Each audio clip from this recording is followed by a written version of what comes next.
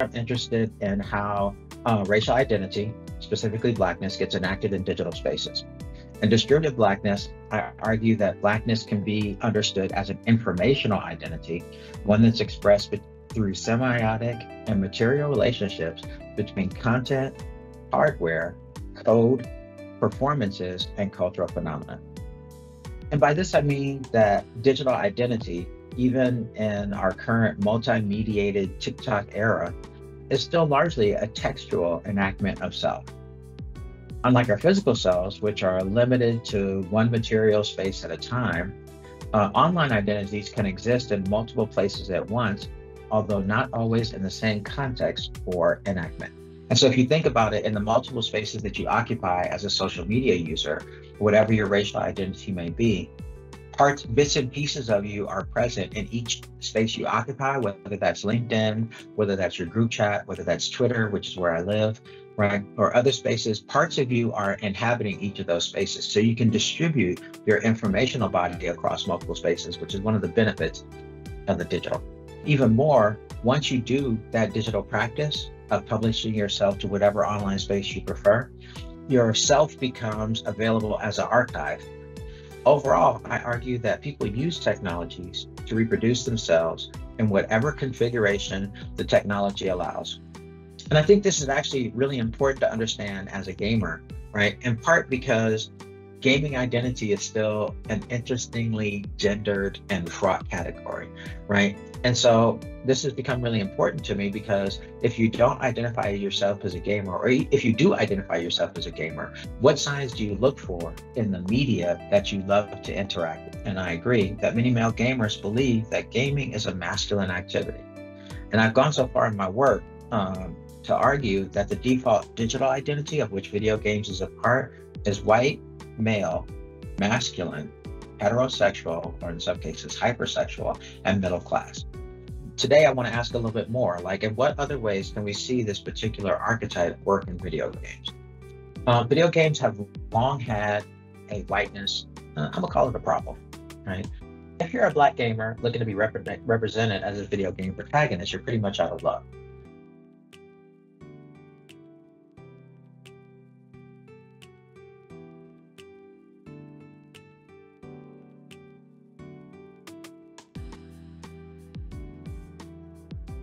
Multiplayer online battle arenas, and MOBAs, and battle royales feature fairly diverse casts of heroes and heroines. Their characterization is largely presented as lore.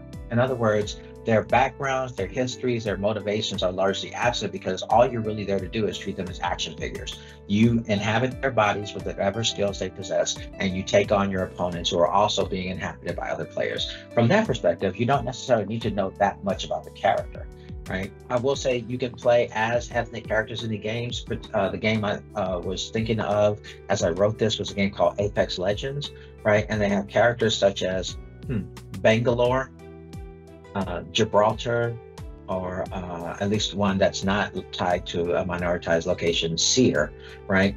Uh, all of whom are brown skinned, right? But you will not be able to apprehend how their racial or ethnic identity inform their character. And this is a relatively new trend, but for years, gamers have complained that when minorities are placed into games where you can play multiplayer, in many cases, they were presented as reskinned versions of white characters. So their features wouldn't change, their mannerisms wouldn't change, their voices wouldn't change, but they'd be brown instead of white.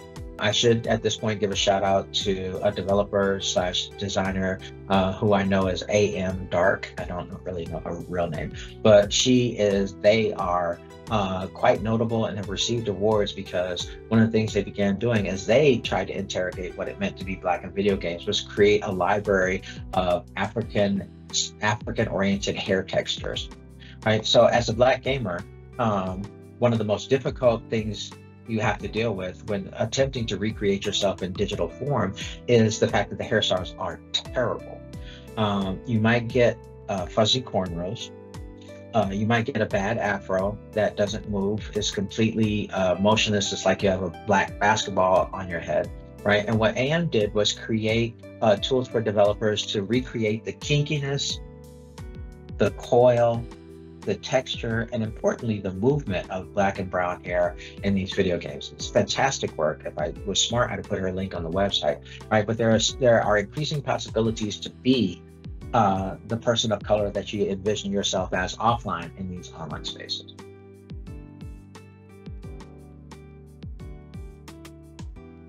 One of the signs that you give off or at least in your social media life, is sound. Sometimes that's your Spotify playlist, sometimes that's the audio to your video, but also think about it in terms of the recent rise of uh, voice chat apps such as Clubhouse or Twitter Spaces or whatever Facebook called it, right? Many of which are centered around uh, virtual settings where people talk at and over one another over and over again. Researchers have long been interested in understanding whether listen- listeners can determine another person's race just by hearing them talk. And it turns out, in particular, because Americans are overstudied and overgeneralized as a research population, that Americans are really good at determining if a caller is a black man or black woman right? And many of these researchers have found that being able to determine whether a person occupies a particular racial identity has attendant possibilities for racial discrimination. And I know this happens in Canada too, but we're just going to talk about America. This becomes interesting in voice though, because gamers know this already. How many folk on the on the call or in the Zoom use voice chat while playing multiplayer with randoms? And so Kishonna Gray found that many of the black and queer women gamers that she studied actually turn voice chat off or use mods to alter the, the pitch of their voice because it turns out that men can be really nasty towards minorities in multiplayer games. Remember, I talked about earlier how uh, sound is a major part of understanding a person's identity. So, on the right side of the screen, I also have Nadine Ross on the top right.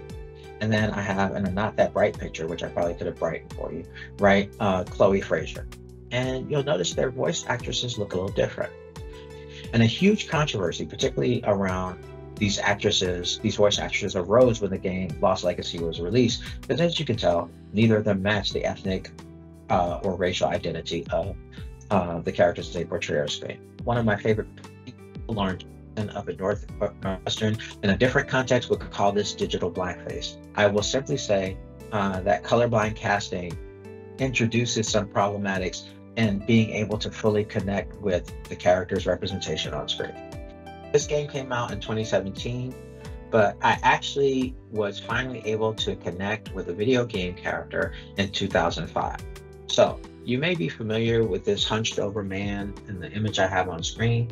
In 2005, Sony Santa Monica introduced the Spartan warrior uh, Kratos uh, as the lead character in their new intellectual property, God of War right? And and maybe some of you are familiar with this character, right? Uh, he is distinguished by his uh, deep voice, his brutality, and his anger. They're the hallmarks of his ethnic and gendered identity, right?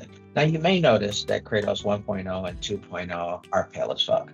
And even with their Greek origins, there's no real reason to suspect right, that their voice actor wouldn't be white as well. So I was hugely surprised to learn that an actor from one of my favorite shows, Living Single, uh, was the voice actor for Kratos 1.0. And another favorite, Christopher Judge from Stargate, was the voice actor for 2.0, right? And both men have really deep, resonant voices, uh, even though most of their voice acting is roars, grunts, screams, yells, uh, and for the 2018 version of Kratos, a lot of repetitions of the word boy.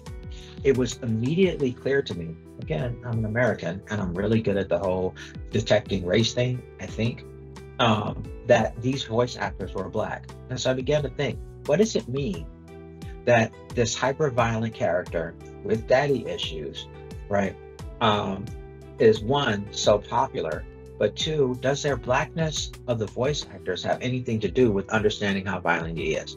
And in comparison, I could talk about going back to the Uncharted series, uh, both Nolan North, who plays Drake, and Troy Baker, who is another uh, hugely uh, um, visible voice actor, plays Drake's brother Sam, right? Nathan Drake's brother Sam, uh, have been cast in tons of games as the leading voice actor, right? And if you saw them on the street, you probably wouldn't recognize them unless you go to cons right? So there's no reason why those actors could not have been chosen for this particular voice role, the lead voice of a new IP.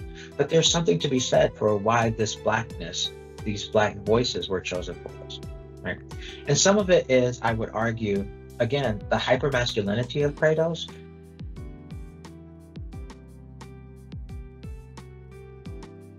And so, how do I understand then the first Kratos as technically a criminal, right? He's doing crimes against God, uh, gods, and the second Kratos as a very distant, I would argue, maybe even deadbeat dad who has returned to raise his child after his wife has passed. Right? It's very easy to throw them into stereotypes of black deviance and pathology. But what I found as I began studying is that stereotypes are complicated.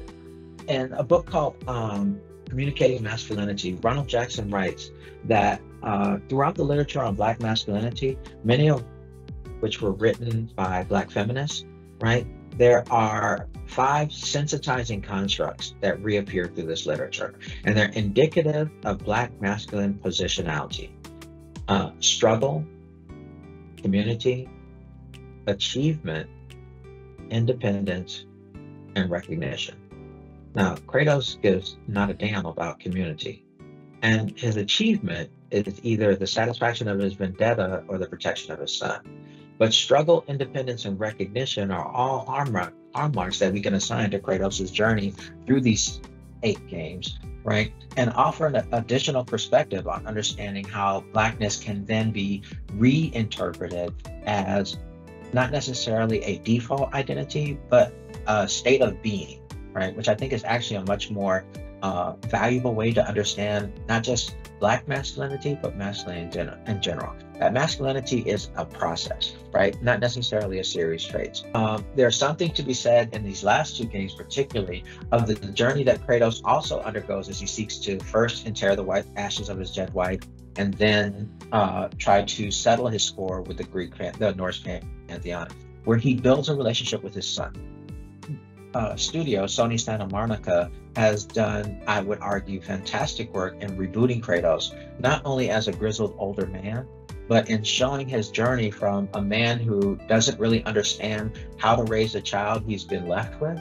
to building a growing uh, bonds of intimacy and familiarity and helping gamers understand his protectiveness towards this particular child, right? He's never not rough.